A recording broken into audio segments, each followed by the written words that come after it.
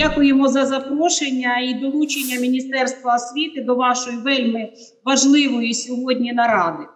Е, що стосується взагалі системи освіти на Житомирщині, то маю сказати, що Житомирщина має дуже потужну мережу в цілому закладів освіти. Вона налічує майже 1400 закладів, із них закладів загальної загальної середньої освіти понад 600 закладів.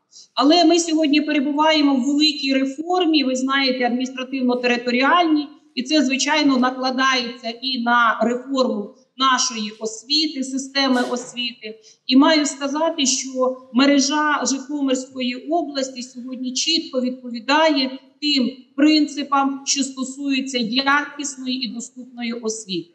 Але не дивлячись на це, ми сьогодні готуємо нове законодавство, де будемо створювати і трансформувати мережу закладів освіти, в тому числі і сільської місцевості. І Житомирська область є е, областю, де навіть заклади знаходяться далеко один від одного. Тому для нас дуже важливо, щоб такі області, які мають заклади в від відстані 30 і 40 кілометрів, звичайно, надавали якісну доступну нашим дітям.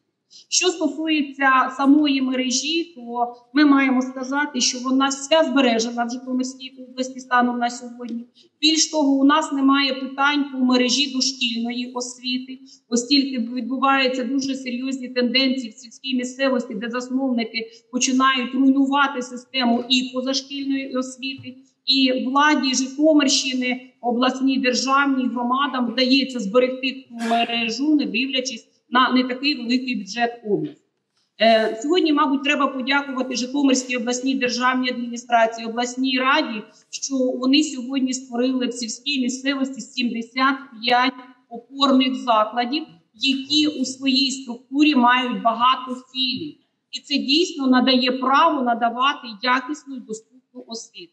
І лише в минулому році і за кошти державного бюджету, які виділені були з держави більше 22 мільйонів, і паралельно були від 10 до 30 е, відсотків виділені кошти з місцевих бюджетів, закуплено 16 шкільних автобусів.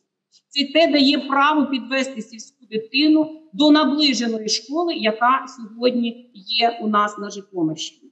У цьому році виділено майже 17, 18 е, мільйонів гривень і це тільки державного бюджету. Розуміємо, що будуть виділені кошти і ще з місцевих бюджетів.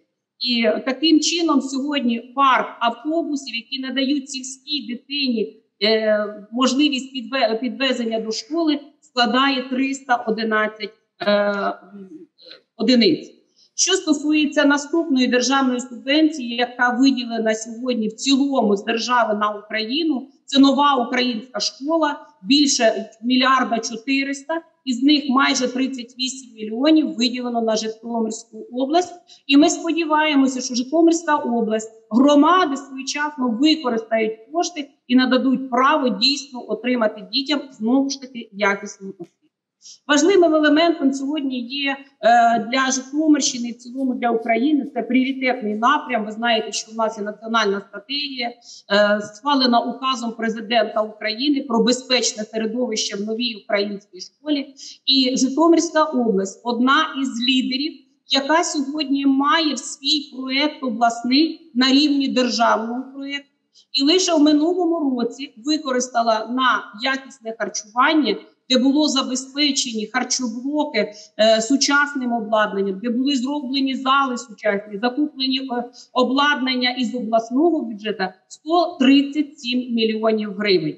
Із них у державний бюджет державного бюджету це майже 14 мільйонів гривень, 31 мільйон це обласного бюджету і майже 93 мільйона з місцевих бюджетів. І сьогодні треба подякувати головам громад, що вони дійсно зробили велику роботу. Але ця робота не зупинена і вона продовжується в цьому році. І цим проєктом безпосередньо опікується перша леді країни наша. І ми дуже хочемо, щоб Житомирська область обов'язково використала із е, спроможньої школи, яка в державі виділена в мільярд. І вчора відбувалася комісія в міністерстві освіти з нашими народними депутатами, де е, Житомирщина вже затверджена, і вони зможуть використовувати ту спроможну школу для кращих результатів і в своїй області. Ну і наступний проєкт, який озвучив президент України на форумі 30, це здорова нація, здорова Україна, де дійсно освіта бере величезну роль, здорова школа. І, саме на Житомирщині дуже приємно було проведено всеукраїнський захід для всієї України. Рух це здорово. Вони започаткували відкриття саме цієї програми у червні місяці на стадіоні, де були залучені діти сільських шкіл і підвезені шкільними автобусами понад 30 видів спорту, де під'єднана була вся Україна. Що стосується трансформації наших інтернатних закладів, сьогодні в Житомирській області працює іще одна комісія на чолі із головою комітету е, по ТТРЦ ТСК, пробачте, Павлом Сушком, де вони розглядають якраз мережу інтернатних закладів. Що було приємно і дуже ефективно зроблено Житом, Житомирською обласною державною адміністрацією, це трансформація двох інтернатних закладів абсолютно в нові заклади. І ви, мабуть, були в Новоград-Волинському ліцеї з посиленою військово-фізичною підготовкою, де всі діти дійсно отримують профіль військово-фізичної підготовки. І приємно, що сьогодні відбулася велика наступність. Працює е, наша військова бригада, працює військовий інститут у місті Житомирі. І 26 дітей, випускників цього ліцею цього року, всі вступають сьогодні у військовий ліцей. І ну, Міністерство освіти і науки вважає, що е, за, заклади загальної середньої освіти, інтернатні заклади, інклюзивна освіта ті пріоритетні державні напрями, які сьогодні вибудовані в державі, дійсно забезпечуються Житомирською областю. Ну і наступне це професійна освіта.